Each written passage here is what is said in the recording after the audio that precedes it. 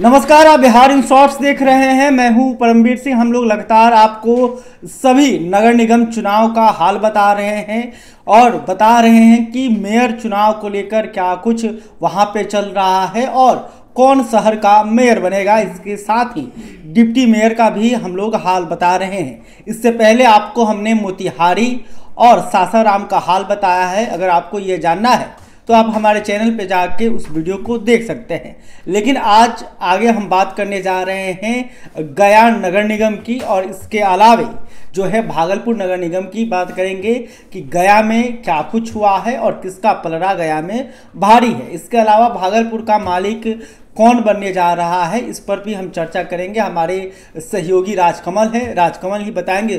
तो राजकमल सबसे पहले हम गया की बात करते हैं कि गया गया नगर निगम में क्या कुछ हुआ? पैसा बहा खूब धन बल की भी धन धन बल का भी इस्तेमाल हुआ पार्टी पॉलिटिक्स भी चली जाति की भी पॉलिटिक्स हुई तो तमाम समीकरण साधे गए। तो इसके बाद गया का आ, क्या माहौल लग रहा है कि गया का अगला मालिक कौन बनेगा?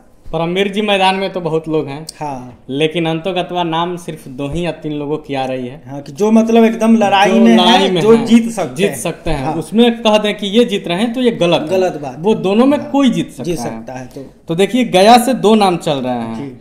वीरेंद्र पासवान और श्याम देव पासवान। जी। दोनों पासवान ही हैं। अच्छा। इसमें लेकिन वीरेंद्र पासवान जो है वो निर्वर्तमान मेयर हैं। माने कि ये मेयर रह चुके हैं। हाँ मेयर रह चुके हैं। और इनका प्लस पॉइंट जो है हाँ। जो हमारे सोर्स ने बताया सोर्स ने बताया है हाँ। कि ये कोरोना में काफ़ी सक्रिय थे मैंने कोरोना काल में जब लोगों की ज़रूरत, ज़रूरत थी तब मदद के लिए तैयार तब। मदद के लिए तैयार थे उन्होंने मदद भी की हाँ। ठीक है और अब बात करें हम्म।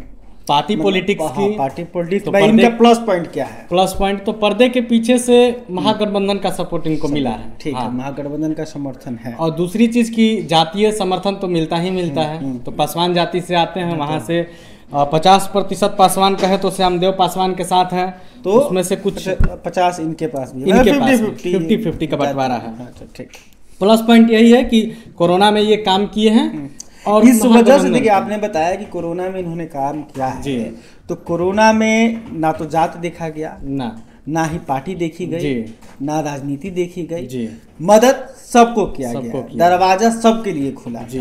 तो कहीं ना कहीं ये जो असर है वो अन्य जातियों पर पड़ा होगा और अन्य तबके के लोग ने भी वीरेंद्र पासवान को इस काम के लिए चुना होगा। जी जी। और मेयर भी रहे हैं और गया शहर में उन्होंने काम भी किया है पहले से बेहतर काम हुआ है तो कहीं ना कहीं इसका भी एक फ़ायदा जो है वीरेंद्र पासवान को मिल मिलते हुए दिखाई दे रहा है और लोगों ने अपना समर्थन जो है वीरेंद्र पासवान को दिया है। इस बात की चर्चा जो है वहाँ के लोग कर कर रहे हैं। अब ये भी आप बता दीजिए आपने जैसे बताया कि प्लस इनको महागठबंधन का भी समर्थन है। तो महागठबंधन का मतलब जो उनका वोट समीकरण है एमवाई का। M Y. ठीक है तो मुसलमान भी गया कि जो है वो इनके साथ गए हैं। जी वीरेंद्र पासवान के साथ। और यादव भी इनके साथ इनके साथ गए हैं। अब बात करते हैं हम श्यामदेव पासवान की जो चर्चा करें तो देखिए इनके बारे में देखिए श्यामदेव पासवान को तो इनका जाति का वोट जो मिलेगा वो मिलेगा ही। मिलेगा, 50 और एक चीज़ आपको बता दें परमवीर जी श्यामदेव पासवान पूर्व एमएलए भी रह चुके हैं बीजेपी से। अच्छा। तो बीजेपी से नाता रहा है इसको हाँ, बोल नहीं सकते हैं। सकते। तो अब बीजेपी का भी समर्थन मिला होगा। ठीक है। तो यही है कि इनको महागठबंधन और इनको बीजेपी का समर्थन मिल रहा है। और प्लस है कि ये पूर्व विधायक रहे हैं। जी। तो पूर्व विधायक रहने का मतलब कि 10 15 बीस हज़ार वोट खुद का होना है व्यक्तिगत जी, जी, ठीक है ना? बाकी तो पार्टी है ही साथ में। पीछे मतलब जी, पर्दे हाँ, के पीछे पर्दे के पीछे कर खुल का समर्थन किसी भी पार्टी ने कहीं पे भी नहीं किया है। जे लेकिन जो लोकल नेता है जो संगठन है उसका इस्तेमाल हुआ है। मतलब ये गया में इस बात की चर्चा है और लोग कह भी रहे हैं कि जो पार्टी के कार्यकर्ता हैं बीजेपी के जो कोर कार्यकर्ता है वो उन्होंने श्यामदेव पासवान को अपना मत दिया है। दिया है। इसके अलावा जो स्वर्ण है वो जो है श्यामदेव पासवान के तरफ़ गए हैं। गए हैं क्योंकि बीजेपी ठीक है।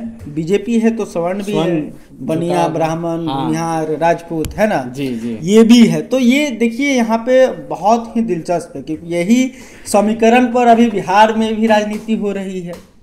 जिस तरह से महागठबंधन का निर्माण हुआ है और दूसरी तरफ़ जो है बीजेपी जिस गठ जिस वोट बैंक के सहारे चुनाव लड़ रही है तो वही जो आपका नज़ारा है यहाँ पर आपको गया में मेयर पद के चुनाव के लिए देखने को मिलेगा। क्योंकि जाति तो दोनों की एक ही हाँ, है और जो तो वोट का प्रतिशत दिखाई दे रहा है कि वो ज़्यादा का डिफरेंस नहीं होने वाला होने है। अगर ये जो चुनाव के परिणाम आएँगे तो हार जीत का अंतर कोई बड़ा अंतर नहीं, नहीं। हो। सकता है। तीसरा कोई मज़बूत पक्ष भी नहीं यहाँ पर दिखाई दे रहा है जो कि वीरेंद्र पासवान या फिर श्यामदेव पासवान का गेम बिगाड़े। जो लड़ाई है यहाँ पर आमने सामने की लड़ाई है और कहीं ना कहीं अभी तक जो हाल बताया जा रहा है कि थोड़ा सा वीरेंद्र पासवान का जो पलड़ा है थोड़ा भारी भारी लग रहा है। लेकिन वो तो ईवीएम जब खुलेगा जब वोटों की गिनती होगी जब परिणाम शाम तक सामने आएँगे तब पता चलेगा कि बाजी कौन मार ले गया। वीरेंद्र पासवान चुनाव जीते या फिर श्यामदेव। पासवान जीते लेकिन जीतना पासवान को ही है। जी। अब बात करते हैं उपमेयर की यानी कि शहर का जो है मेयर के बाद जो सबसे बड़ा पद होता है वो उप मेयर का होता है। तो उप मेयर में क्या कुछ हुआ है? यहाँ पर कितने मज़बूत दावेदार हैं और किसका पलड़ा यहाँ पे भारी चल रहा है? तो ये राजकमल आप बताइए। यहाँ भी वही हाल है उपमेयर में भी दो ही लोग की लड़ाई चल रही अच्छा। है पहला उसमें है चिंता देवी। चिंता देवी। अ, कहा जा रहा है कि चिंता देवी को भी पर्दे के पीछे से महागठबंधन का सपोर्ट मिल रहा है। अच्छा। और दूसरा दिलचस्प चीज़ ये है कि चिंता देवी हमेशा नगर कर्मियों के लिए नगर निगम के कर्मियों के लिए आवाज़ अच्छा, उठाती रहती सफ़ाई कर्मी हो सफ़ाई कर्मी जो नगर तो ये इनका प्लस पॉइंट है इनका साइलेंट वोट इनको मिल जाएगा बिना हो हल्ला किए नगर लीजिए कि हज़ारों की संख्या में तो नगर हाँ। निगम के कर्मी हैं जी और उनके परिवार उनसे जुड़े हुए हैं जी। और परिवार जुड़े हुए हैं इसके अलावे वो दो चार फुट इधर उधर भी कर सकते हैं व्यक्तिगत तरीके से। तो कहीं ना कहीं ये बड़ा फैक्टर जो है राजकमल बता रहे हैं। कि चिंता देवी के साथ जो है नगर कर्मियों का साथ है। साथ है। है ना? लेकिन वहीं दूसरा नाम जो चल रहा है दिव्या आनंद का चल रहा है। अच्छा मटका छाप। मटका छाप। जी। लेकिन दिलचस्प बात यह है कि न इनको किसी पार्टी का समर्थन मिल रहा है न किसी जाति विशेष का समर्थन मिल रहा अच्छा, है। दिव्यानंद। ये शुरू से समाज सेवा में रहेगी। मतलब समाज सेवा करती हाँ। हैं। बस। तो शुरू से समाज सेवा और में इसका है तो मतलब इसका एक बढ़िया जो है असर भी देखने को मिला है। जी। छवि इनकी साफ़ सुथरी छवि है जी, है जी। ना? और इसके अलावा कोई अ, क्या बोलते हैं पार्टी के बंधन में भी नहीं नहीं है। अगर मान लीजिए कि अगर बीजेपी ने समर्थन दे दिया तो महागठबंधन के लोग वोट नहीं करेंगे। महागठबंधन ने समर्थन कर दिया तो बीजेपी वोट नहीं करेगा। तो इनके लिए ये खुला रास्ता है। खुला रास्ता है कि महागठबंधन भी आएगा बीजेपी भी आएगा सब जात के लोग भी आएँगे। आएँगे। तो भाई ये तो दोनों ही अगर देखा जाए उम्मीदवारों का तो जो कोर है जो बेस है वो बता रहा है कि काफ़ी दिलचस्प है। अब वोट जब पड़े हैं वहाँ पे जब तो लोगों ने खुल के बोला भी है कि भाई मैंने तो वोट दिया है। और और जिस हिसाब से दिव्या आनंद दावे भी कर रही हैं कि चुनाव वही जीत रही हैं, लेकिन दूसरी तरफ़ चिंता देवी का भी दावेदारी काफ़ी मज़बूत है।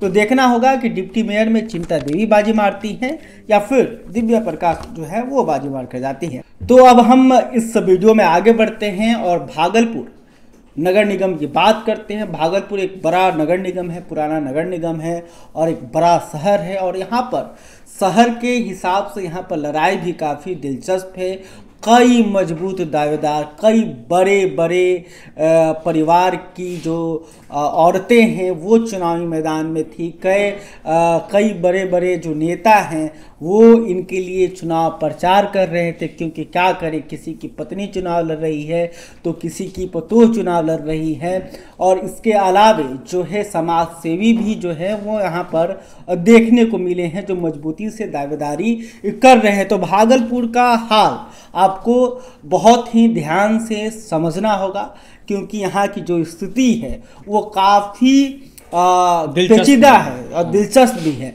तो राजकमल इस पेचीदा आ, कहानी को आप आसानी से हमारे दर्शकों को समझाइए कि भाई यहाँ पे हु, हुआ क्या है और होने वाला क्या है। जी जी। परमवीर जी भागलपुर में तीनों लड़ाई महिलाओं के बीच में ही है। इस बार तीन लोग आई हैं। ठीक है। कांटे की टक्कर में तीन लोग हैं। जी ठीक है। इसमें डॉक्टर वसुंधरा लाल का मैंने चल रहा है ना? नाम हाँ। टमटम छाप। टमटम छाप। जी। डॉक्टर वसुंधरा लाल एक डॉक्टर भी हैं। हम्म हम्म हम्म।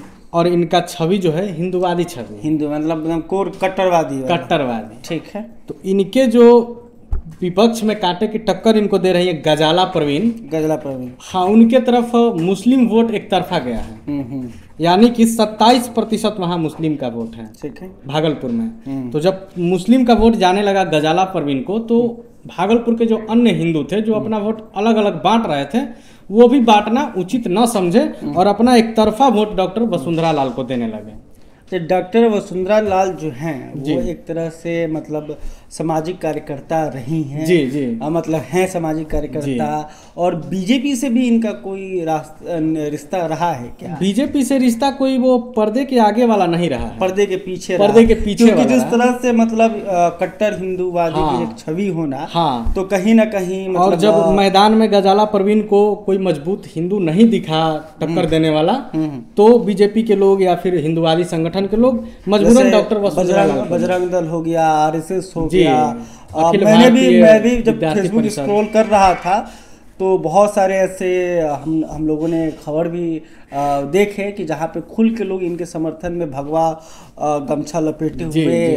पूरा रोड शो हो रहा था और काफ़ी संख्या में भीड़ देखने को मिल रही थी डॉक्टर डॉक्टर वसुंधरा लाल के पीछे जो है भगवादारी पूरी तरह से खुलकर खुलेआम घूम रहे थे तो कहीं ना कहीं जो है हिंदू का जो कोर वोट है हाँ। जो हिंदुवादी मानसिकता के जो लोग हैं जो हिंदू हैं वो इनके साथ यहाँ पर खड़े हैं परमवीर जी हम्म। लेकिन एक चीज़ और है जी हिंदू जो भी वहाँ बीजेपी के लोग हैं हाँ। वो हंड्रेड परसेंट नहीं कर सकते उनका भी वोट कटा है। कटा है बीजेपी में सीमा शाह है वहाँ। अच्छा सीमा से वो भी टक्कर में ही है और ठीक है। निवर्तमान मेयर है। मतलब हम मेयर हैं हम्म। तो सीमा शाह के पास भी बीजेपी का वोट बैंक आया है। अच्छा अच्छा। और माना जाता है कि वहाँ दो गुट चलता है। हम्म। तो जो अश्विनी चौबे गुट के बीजेपी के लोग हैं जी जी जी। वो सीमा शाह को समर्थन दे रहे हैं। और जो बीजेपी के जमीनी स्तर के कार्यकर्ता हैं हम्म। वो डॉक्टर वसुंधरा लाल के साथ हैं। अच्छा। बढ़िया से समझने वाले अश्विनी चौबे गुट। जी। है हाँ। वो सीमा शाह के साथ है जी।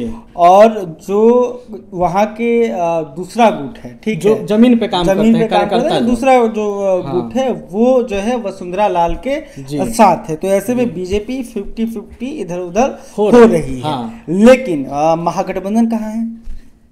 महागठबंधन तो गजाला परवीन जी के पास ही है। गजाला परवीन जी को अगर देखा जाए तो गजाला परवीन के पास मुस्लिम वोट है। ठीक है इसके साथ यादव का भी वोट जा रहा है तो साथ ही है। जा रहा है और नीतीश कुमार की पार्टी का आ, कितना वोट इनके पास जा रहा है पिछड़ों का समर्थन कितना मिल रहा है ये भी देखने वाली बात है खोलने के बाद ही पता हाँ तो यहाँ पे जहाँ हिंदुओं का वोट बिखरते हुए दिख रहा है वहीं अब मुस्लिम समाज का जो वोट है मुस्लिम धर्म का जो वोट है वो यहाँ है। पे एक तरफा जो है गजला परवीन के पास जा रहा है। अगर इस हिसाब से भी मिलाया जाए तो गजला परवीन का जो पलड़ा है कमज़ोर नहीं है नहीं बल्कि भारी ही भारी है। लेकिन डॉक्टर वसुंधरा लाल का भी पलड़ा जो है काफ़ी मज़बूत है क्योंकि ये डॉक्टर है समाज सेवी है। तो इसके अलावे इनका भी एक अपना अलग प्रभाव है। इसके अलावा हिंदू संगठन के साथ इनका तालमेल बढ़िया है। इसे भी नकारा नहीं जा सकता है। दूसरी तरफ़ सीमा शाह भी जो है मजबूती से इन्होंने इस चुनाव को लड़ा है। तो इन्हें भी आप नज़रअंदाज नहीं कर सकते नहीं कर सकते नहीं कर सकते हम्म, हैं। हम्म। तो अब देखना होगा कि इस अश्विनी चौबे का जो है कितना प्रभाव यहाँ पे पड़ा। अश्विनी चौबे का जो गुट है उन्होंने सीमा शाह के लिए कितना बढ़िया तरीके से काम किया। क्या उस वोट को इधर शिफ्ट करा पाए? इसके अलावा ये देखना होगा कि क्या गजला प्रवीण के साथ पूरा महागठबंधन पूरी तरह से साथ था?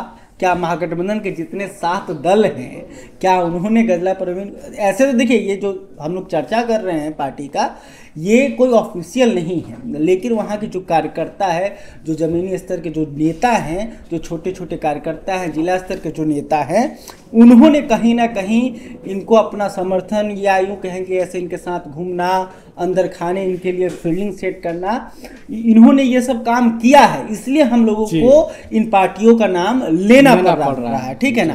तो इस ऐसे पार्टी ने ऑफिशियल तौर से किसी भी अ, नगर निगम चुनाव में किसी भी उम्मीदवार को किसी भी पार्टी ने समर्थन नहीं। दिया है।